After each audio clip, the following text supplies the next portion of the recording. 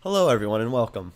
I just want to do another uh, quick little tutorial here. Uh, this one's just basically how to prepare a file for um, data moshing or, or kind of uh, glitching out in Audacity here. So um, yeah, so I'll say I have this picture here. It's uh, a picture I took on my Canon Rebel TI um, 3i, I believe, camera and it's in the uh, the uncompressed uh, Adobe format, which is a CR2. And it's just a mugshot, it's just a self-portrait picture of myself. The same picture we used uh, for the other tutorial um, using Audacity.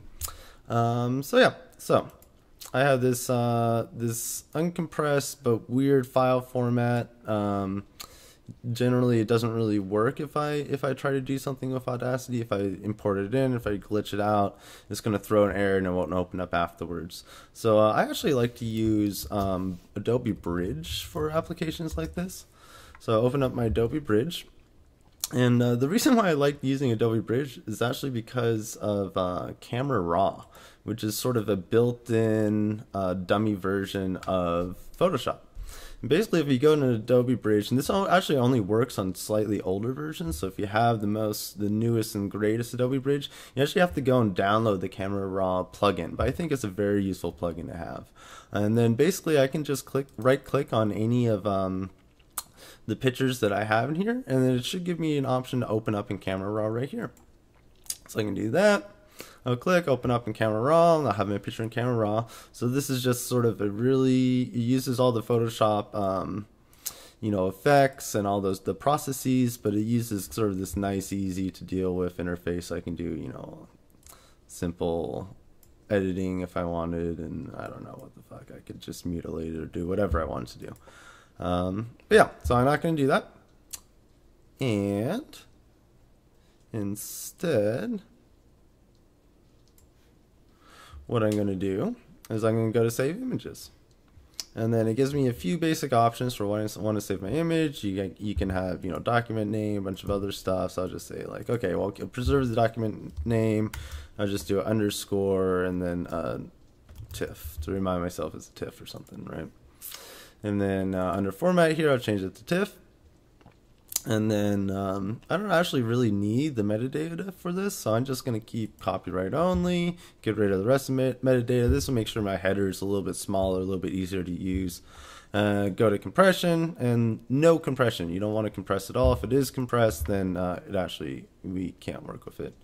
Uh, so there's other stuff like image scaling. If, if you wanted to make sure that it was under a certain size, because TIFFs can, can, be pretty big or whatever, you can do that there. But me myself, I I actually love working with these huge, huge, huge files. Um, I I figure the more data, the better, and it just sort of um, I don't know. I prefer working with the larger files.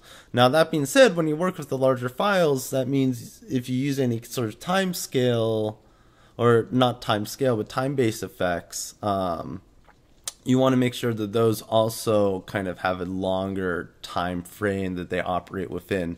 Because uh, once audacity loads these images it will load it as a much longer audio file than if it was a if it was a uh, smaller image. And smaller is in file size not specifically pixels although you know of course that's a part of it. Um, so fantastic. And then i hit done here I'm all good to go. Now, one thing that, that you may run into is you may run into a situation where you actually can't do that right click and open in Camera Raw.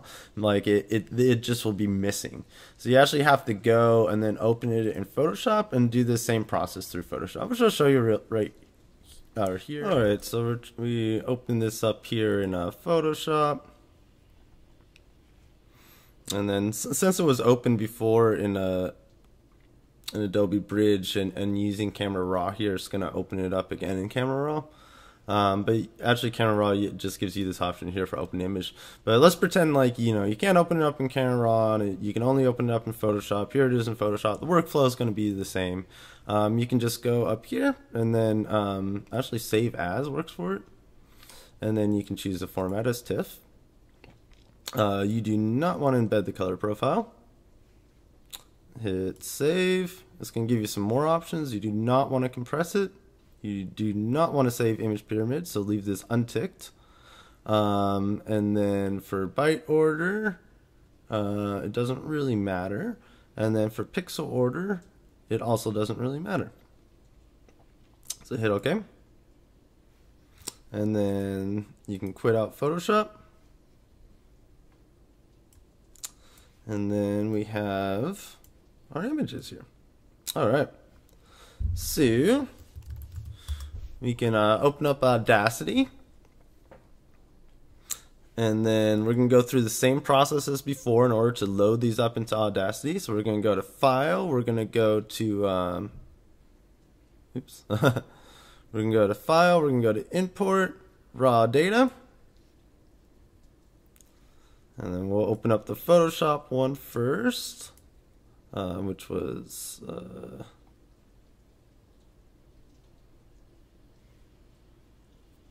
yes. We're going to do uh, encoding as ULAW. Byte order, order is little endian, channels as 2, everything else as it was. And import.